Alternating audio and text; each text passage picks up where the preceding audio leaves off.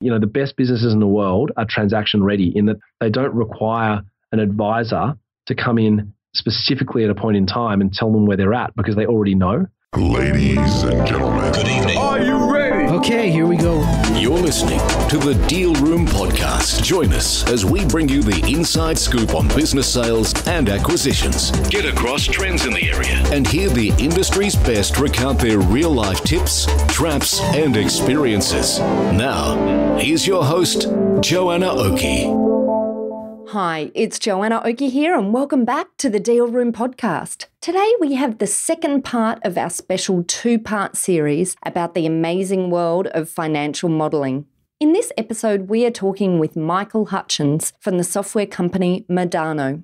Michael is an ex investment banker, professional financial modeler, software developing CEO, and in this and the previous episode, Michael discusses software and the nuances of financial modeling in sales and acquisitions transactions. In part one of our series, we looked at what financial modelling is, why it's important, and where the real value lies. We discussed how financial modelling can provide the opportunity to take an understanding of your business to a whole new level and give you the ability to look into the future and test ideas you might have about how to grow the business. And we also discussed in detail the opportunities for accounting practices. So, if you haven't yet heard that episode, I strongly recommend that you go back and check it out. But in this episode, the final part of our two part series, we talk in detail about the ways in which financial modelling helps businesses plan for the future. We discuss the benefit of proper financial modelling in an M&A environment, and we look at how modelling can help identify when acquisitions might be a good strategy for growth. And on the flip side, as a seller, why and how businesses can get themselves in a transaction ready state. So, to kick it off, I asked Michael about how financial modelling can really assist in both small, simple acquisitions as well as in those larger acquisitions.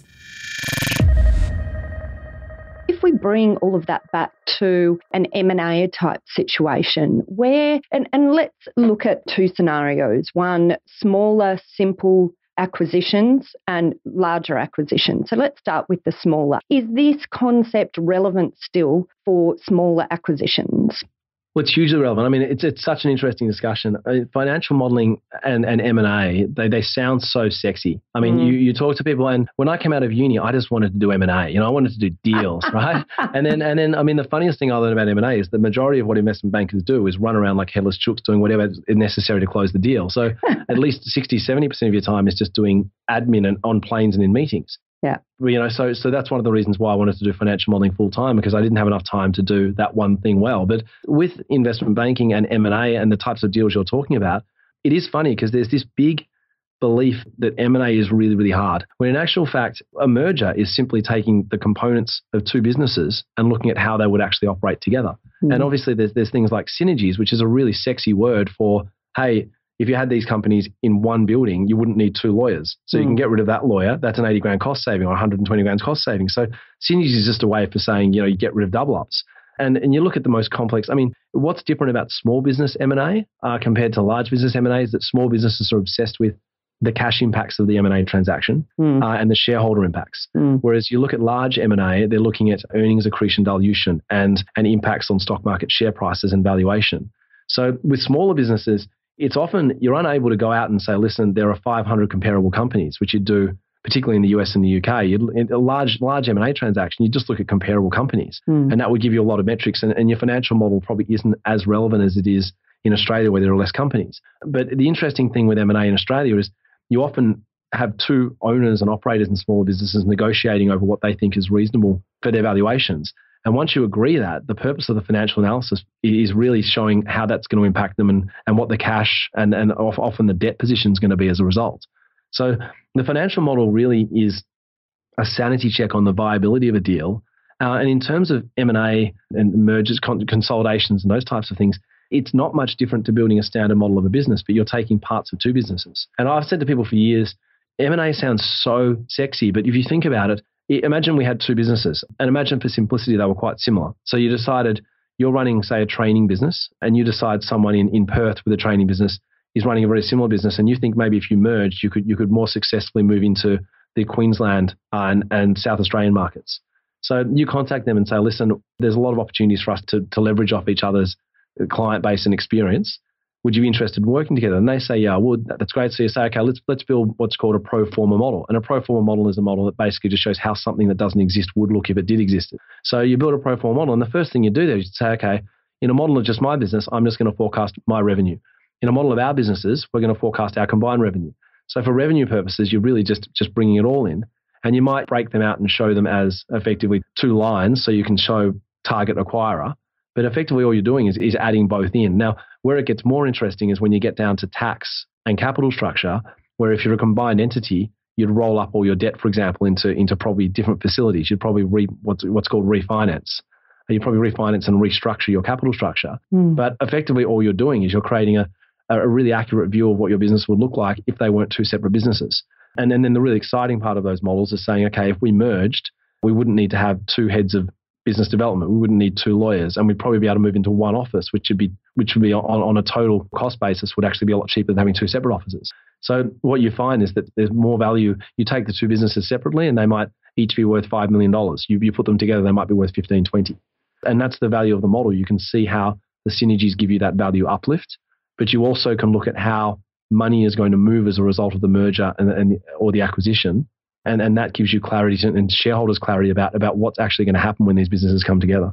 So essentially, their modelling is giving us, I guess, three things in this area for an acquirer. So the modelling helps us identify when acquisitions might be a good strategy for growth, I, I guess, on the basis of what you're talking about here, as well as helping us to test when a target is found. So test, roll forward, work out our assumptions, and work out what it will look like together as a merged em- entity. And I guess it also finally helps in post transaction merging and, and making it all work together. I guess that's what I'm hearing from what you're saying. Does that sound about right?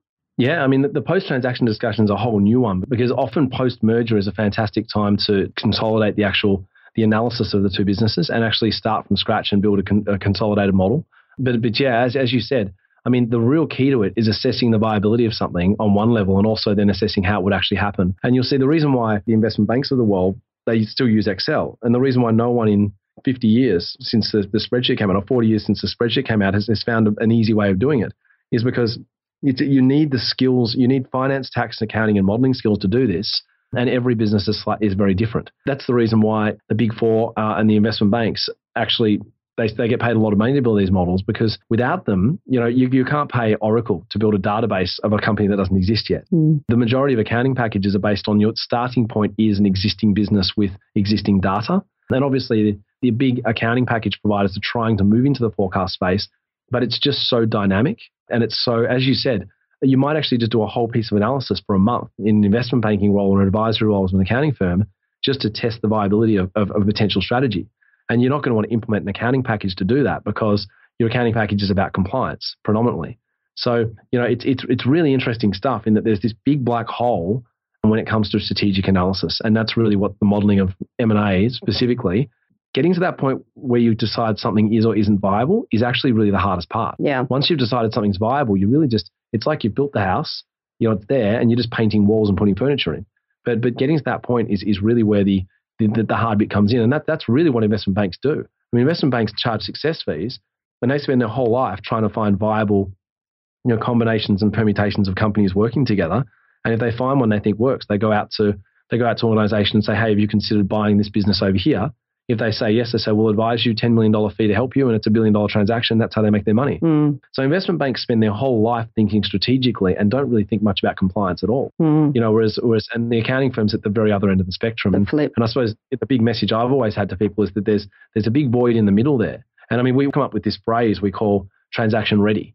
And we say, you know, the best businesses in the world are transaction ready in that they don't require an advisor to come in specifically at a point in time and tell them where they're at because they already know.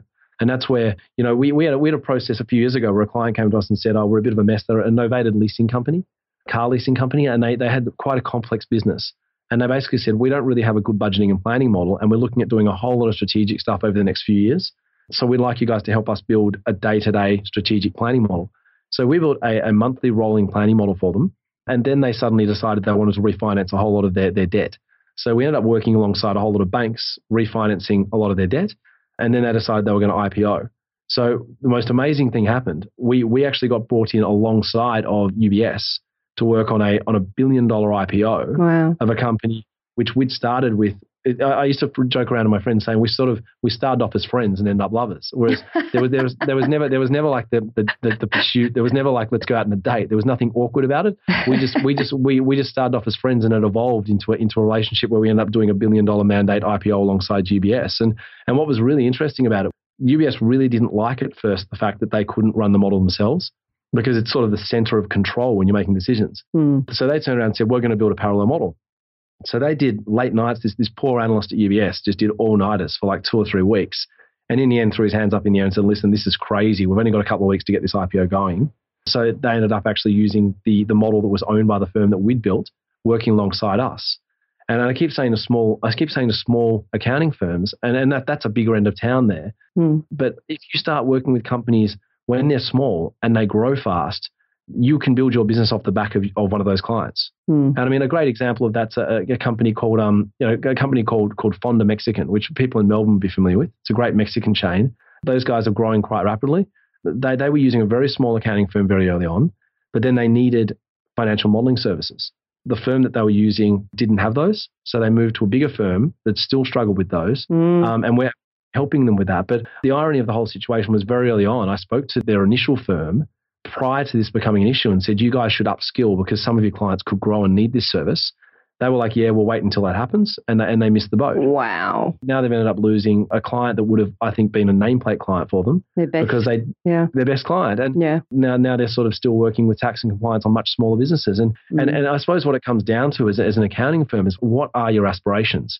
And, and you've got to really think about that. I mean, even the bigger firms, I speak to them all the time, and, and they tell me openly we're really struggling to move away from tax compliance because it's just it's just so easy compared to what you're saying. Uh, and, and then what a lot of them are looking for is a silver bullet, which is things like an add-on to Xero where, where they get a cut and it's 50 or 100 bucks a month and it just plug in some numbers, gives you a great looking dashboard and you tell the client you're adding value.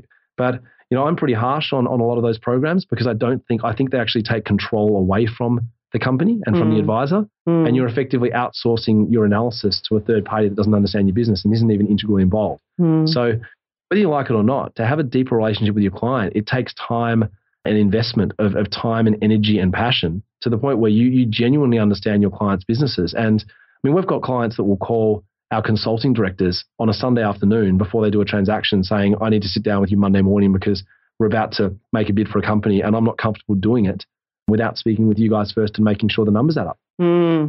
So when you get to that point with a client, you're in a very, very good place Yeah. because they see you as a trusted companion, not only in relation to their compliance, but in relation to their forward their forward success. Hmm. So it's, it's kind of like I always joke around saying I always associate my first my beer with a Friday night because I always have a beer Friday when I get home, and and I always said to friends it's sort of like I associate a success a satisfying week with a beer. Um, if you can get to a point where where a client basically associates successfully running their business with you being in the room when they make decisions, Yeah. you've got a life. Yeah. And that's where you think about accounting firms right now, they, they're killing each other on margins and fees. Technology is eating clients' work. I find it extraordinary how so many accounting firms are lapping up technologies which, in some regards, are taking control away from them and killing their margins. And, and they're doing it because they're a lot easier to use. Like, It's a lot easier to implement Xero and maybe take a cut and plug and, and basically plug some numbers in than it is to actually learn a skill that, that is much more complicated. Yeah. But, but but at the same time, there's a lot more upside in skills which can't be automated away completely. Mm. Oh, look, I think they're really great points you, you make there. And, and certainly your point about being transaction ready. I, I just think that's, you know, this is the sort of things that I'm constantly preaching to from a legal perspective as well, because it, it's exactly the same from a legal perspective, you know, organizations being transaction ready. You know, because from a legal perspective, it can sometimes take a while for a company to be cleaned up. And there's often leakage that can happen, particularly through that due diligence phase, you know, when clients come in and they're not transaction ready. So they're looking to sell or not transaction ready. And it sounds like exactly the same from the financial modeling point of view, being mm-hmm. able to give them the insight to ensure that from a financial perspective, they're also transaction ready. Oh no, it's it's 100% the same thing. I mean, I, the two examples I always use, and I think as you're saying, the legal side is exactly the same. It's it's really come. The, the, the great example I always use is touch typing. Now, most people know that touch typing saves them a lot of time, and it takes probably 100 hours to get to a point where you can do it somewhat reasonably. Yet very few people in the world do it because they don't want to invest that initial time, Mm. and therefore each year they probably spend two or three hundred extra hours typing. You know, it, it's one of those things where you sit there and you go to companies. You know, you should fix this now, and we always joke around with our consulting business saying people come to us when they're either petrified of running out of money or they're really excited about getting really rich. So normally when people come to us, things are either really good or really bad. But when when it's business as usual, they're like, "Oh, I'm all right." And it's sort of it's sort of the same with the gym. Like you look at people, Yeah. you know, more people are obese now than ever before. In fact, I think more people are obese than not obese. And people know they're not doing it properly. They know they're not eating well and not doing enough exercise, but but they're not fixing it in a hurry Mm. once you do fix that, you see people that have this dynamic where they're just fit, they're eating well, and they have that positivity that comes with getting it right. And I think getting people out of that mentality of, oh, I'm okay, I'm doing okay, is a real challenge. But once you get them out of it, you become friends for life. And that's where I think with, with a lot of businesses, a lot of businesses are in that space where they're not making, and I've been this personally over the last five or 10 years, where my business at times has, has not been going badly, hasn't really been going well. And suddenly I'll find something outside of work and you know excites me a little bit more than my mid-sized business Mm. and suddenly you're like struggling to get out of bed in the morning. Yeah. And I, one of the keys with thinking strategically in your business is you, you're constantly aware of the opportunities. Whereas, whereas when you're just focusing on the now and today and yesterday, you're sort of you're just focused on getting by, and that's where you know there's a there's a whole psychological analysis you, you could do of of the types of people that love financial modeling and strategy versus the ones that are more focused on on compliance. Mm. I think with with accountants generally, they they're generally risk averse. I wouldn't say the average accountant is is a really strong salesperson. I would say they're much more the guy you'd rely on to get something done than to go out and pitch a new concept to somebody. And obviously, you combine the risk aversion on that. They they don't want to look stupid, so mm. they don't want to go out and pitch a service they're not comfortable providing. They're they're often concerned about investing a huge amount of money in upskilling their staff on something that might not work. So there's this chicken and egg problem where where they're thinking, you know, what if I spend a whole lot of money getting my staff fired up about this, and then the clients don't even want it, and I've just lost, I've just spent thousands of dollars investing in something they don't want. And then what if I, what if we do go out and the clients want it, we build it, and we don't do it properly, and it doesn't work, and we look stupid? You know, are we mm. going to lose? Are we going to lose the compliance work from that client? So it's it's a really, it's certainly a much much riskier field. I'll openly say that than ticking boxes. But at the same time, it's it's almost a necessary next step for accounting firms that want to be more to their clients than just just effectively a, a, compliance officer. Mm. And, you know, and there's a need. As I say, I, I certainly think that in the next five to 10 years, the world of accounting is going to change massively. You know, technology is, is having a very big impact. So I think these opportunities to build differentiation and to enable you to find a way to really give life to that value add and to stop leakage of your best clients, you know, should be a really strong impetus for Mm. accounting practices to look really seriously at this type of opportunity. Well, it's, uh, it is. I mean, the thing is also there is just a lot of money there, and it sounds it sounds crazy, but I mean, um, I think I was mentioning to you last week that the stats on this, we we did some stats on just the Australian market size, and and even with the out of date stats, we did this a couple of years ago in 2015, and we looked at it, and there are in Australia alone there are there are over 2.1 operating registered businesses with ASIC, Mm. and then you look at that, and, and over what is it? I'm just looking at the numbers now. Over over 250,000 of those have more than five staff and over 50, 50,000 of them have more than 20 staff. So you've got a situation there where we always look at companies as, and we, we basically tell them you should be spending as much on your planning and analysis as you are spending on your website. And what's amazing is because everyone's scared of not selling enough, people happily spend on website. I mean, a lot of a lot of people will spend on SEO services without any idea whether they're going to get a return on that. Mm. But very few companies will spend money on strategic planning tools because it's just like, well, I'm not quite sure what I'm going to get out of that, and I don't really need it, and I'm not going to feel bad because most companies don't do it properly. Mm. So, but if you if you do some basic numbers and say, well, let's assume that the average company in Australia with more than five staff has a budget of five thousand dollars a year for planning, which I would argue is negligent not to have. You've got five staff, you're paying bills. If your average salary, say, even if it's just sixty or seventy grand a year, you know, you've got sort of three to five hundred thousand dollars worth of cost there. You probably should spend one percent of that planning. Mm. So if you do that and you say, okay, let's let's assume that, then straight away in Australia you've got between five and twenty staff companies. You've got you've got a billion dollars worth of fees there that the companies have to spend. Then you take it up another level and you say, okay, the companies with 20 to, to 200 staff, there's 50,000 of those. Now, those companies are, what we call the sweet spot financial modeling. They're companies that often have a budget of 50 to 100 grand for a model per year.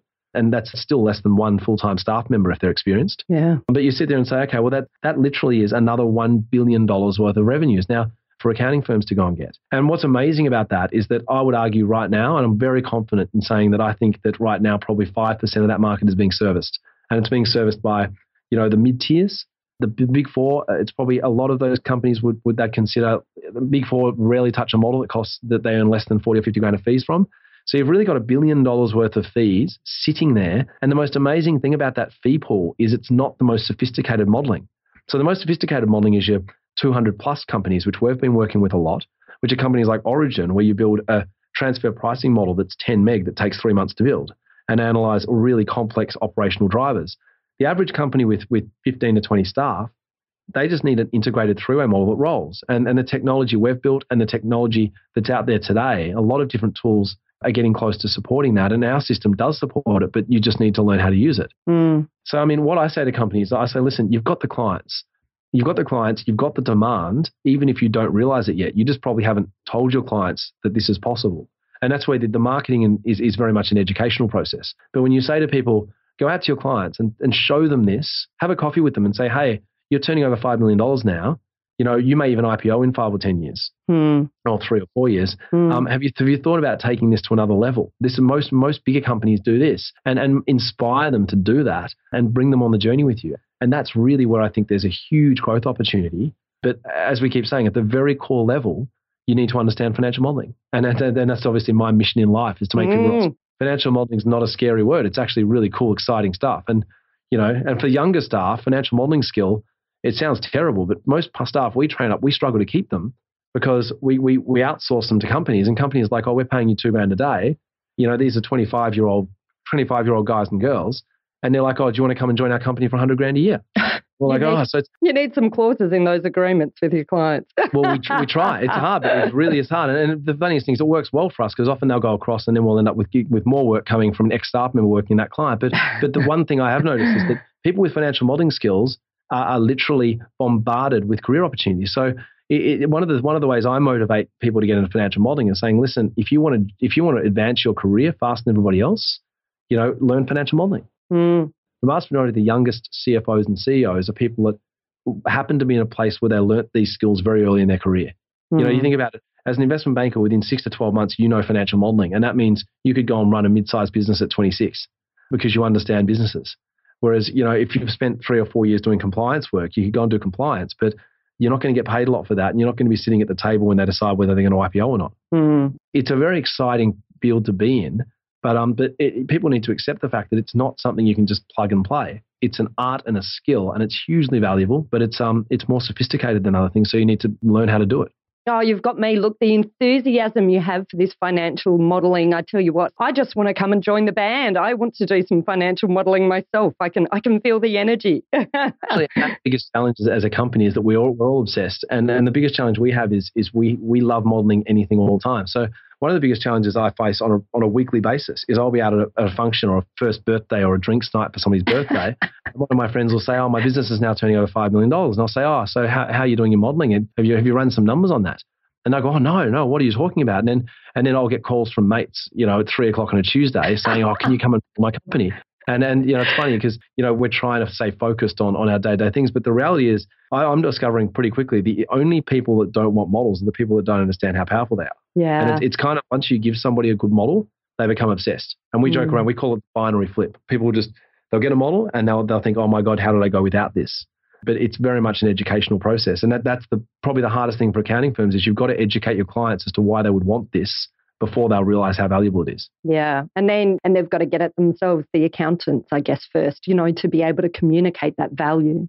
So, Michael, where can our accountants or our listeners who are often end client buyers and sellers, um, and uh, brokers as well, consultants, where can they go to get more information about how your software works and how financial modeling could work for them? Well, there's um, and I don't want to put an outright plug in here, but um, Go for it. Tell us where to go. my company is Modano, and what we've done is we've realized that the majority of the small end of town, what we call the small end of town, just don't have this skill at all. So um, so we've created a, about a 20-hour training system you can go online and, and do, and it's it's all completely free, purely because what we find once people learn how to model, they're interested in using our software. So it's actually in our interest to educate people on this. So we've created effectively a, a 20 hours. It's basically seven exercises, and each one you build a model, you submit it, and you answer. You have multiple choice questions. So you actually you actually it's effectively moot building of models for clients. Mm. So we're providing that service. Um, I'd also recommend the key is you need to get your hands on examples of financial models. Even the best financial models in the world, people that have often worked at the big investment banks, they've learned through osmosis. So you need to you need to get your hands on example models. Now we provide some um, on our website. You can go on LinkedIn and you can find people providing them. You can go on different websites, just search for financial modeling examples. Uh, you really want to focus on integrated three way models. That's the key. They need to have a, an income statement, balance sheet, and cash flow. And you need to just, you basically need to pull them apart and put them back together again. But what you need to bear in mind is that the fundamentals of financial modeling are the same for all types of financial models. So the people in the sector will love to tell you how complex it is and how what they do is different to everybody else. But on a core level, we all face the same gravity. We're all in the same universe. So what you find with financial modeling is if you understand the fundamentals of so, for example, we break models up into eight areas, which is operational, which is revenue expenses. And then you've got your working capital, which is debtors and creditors. And then you've got your assets, which is fixed assets and intangibles. And you've got capital structure, tax, financial statements, and you've got outputs and other, which is where you do evaluations and so forth. Now, if you can understand how to break a company up into those pieces and analyze them, you'll be able to do everything from over time, you'll be able to do everything from M&A to consolidations to strategic planning to what if analysis. So my advice to, to accountants is, is don't go straight for the LBO because everyone on Wall Street's talking about it. LBO is just another really complicated, sexy sounding phrase for effectively building a three-way model that contains a bit of restructuring on day one because your management's buying the business out, you know, and you're restructuring the, the capital structure. But start off with the fundamentals. So learn how the three financial statements relate to each other on a forecast basis. Learn how how financial modeling differs from accounting. Financial modeling isn't like debits and credits. When, when you model revenue, you forecast revenue on a normally on accruals basis and then you make adjustments for cash. So, so debtors as models an adjustment. So a great example of how modeling differs from accounting is with accounting, you'd obviously, and this will test my accounting. I'm, I'm, I'm not a CPA, but with accountants, you'll actually book revenue and you'll say, okay, you know, you know, debit, debit accounts receivable, credit revenue, and then when the revenue, when revenue comes in in cash, you obviously decrease your accounts receivable and increase your cash, cash. Um, but in modeling, it's quite different. You look at it and say, what is my revenue going to be for the next period, which might be a month or a quarter or a year, and you'll say, okay, my revenue is going to be a million dollars and you'll make an assumption and say, what is my debtors' day? So what is the number of days on average that it takes me to collect my debtors? And you'll say, say 30 days, which in a in a 365 day year is about a twelfth.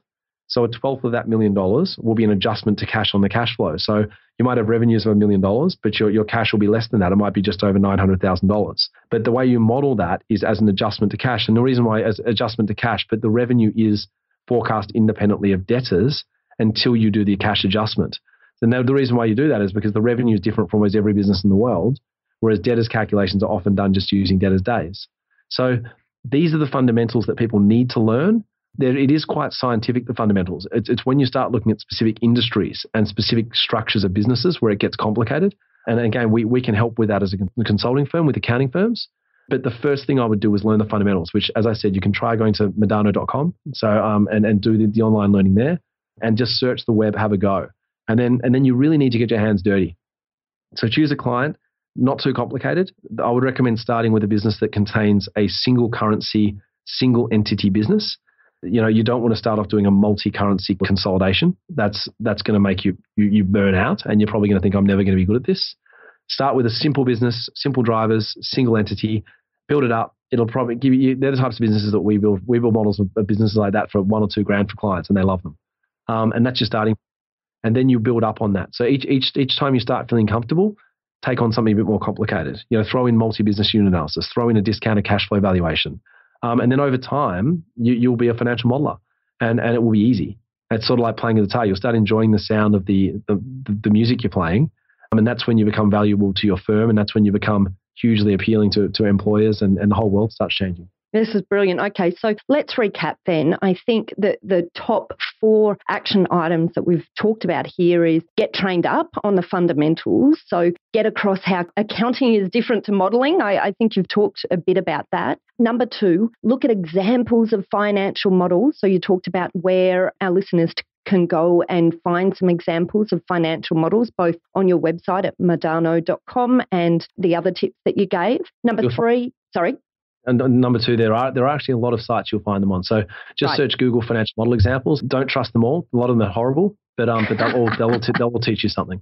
And so the get your hands dirty, but choose something that's easy to start off with. So single currency, single entity company. Yep. And I guess fourth, the last element there, which you alluded to at times, which I think is probably quite important, is to then start communicating the value of modeling to your best clients. Yes. Get in a way that you understand deeply the value, the true value for them, and start communicating it. Absolutely, and that, and that is, as I said, an educational exercise. And I mean, what we find people relate to most on that front is case studies. Mm, Um, we, we love case studies like Grill'd and JB Hi-Fi because they're household names. mm, But the most important thing, if you can find a relevant case study, and that gets easier over time, it gets a lot easier. So if you can say we worked with a franchise business just like yours, and they're now they're now they're now able to do X, Y, and Z, you'll hit a nerve, and the founder will say, "Oh, it drives me crazy how I can't do that." And that's when they'll come and say, "We want that too," because envy is is a huge driver. Mm, yeah, absolutely. Oh, look, this has just been um, really great. I think it's been really interesting information for our listeners in relation to financial modelling. Certainly very exciting. I've never felt so excited about the topic of financial modelling before. I'm glad. I'm glad I excite you. I mean, obviously we love it. It's a, it's almost a disease. I, I think my wife wishes I didn't, I didn't like it so much, but um, we we just we just love it. It's right right in sort of the, the core of the action. So uh, no, we love modeling, and, and we love seeing people convert to modelers because they convert and they never go back. So um, the more modelers, the merrier, as far as we're concerned. That's amazing. Look, I can really see the opportunity here. You know, the opportunity for accounting practices to get something that's a differentiator and something that really adds value to their best clients and help build their profile, but also, you know, the fee base from their best clients and, and importantly to stop leakage of your best clients. I think that was a really good example you gave of the problems of putting it off until tomorrow because you, Mm. you might lose your best clients in the meantime who really need this insight in their business. No, I think I think that's a really good way of looking at it because I think most accounting firms assume their existing client base is a given and they look at ways of growing it.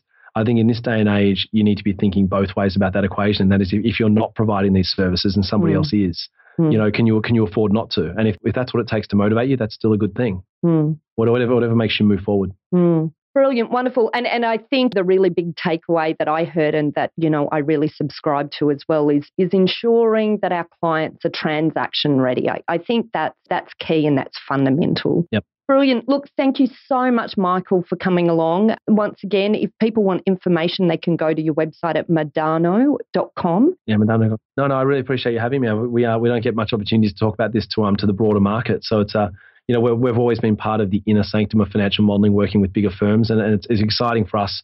You know, going out into and dealing with with people that are, that are just becoming a part of this world. So Mm, you know, our, our ambition is to take financial modeling to the masses the way mobile phones have got to the masses over the last 20 years. Because at the moment, you know, big firms have big clunky financial models, just like big ugly phones back in the 80s. So we are mm. we want all businesses to have access to high quality analysis, and that's um you know things like this are really helpful. So thanks for having me. It's been a real pleasure. Brilliant. Thanks so much for coming along, Michael.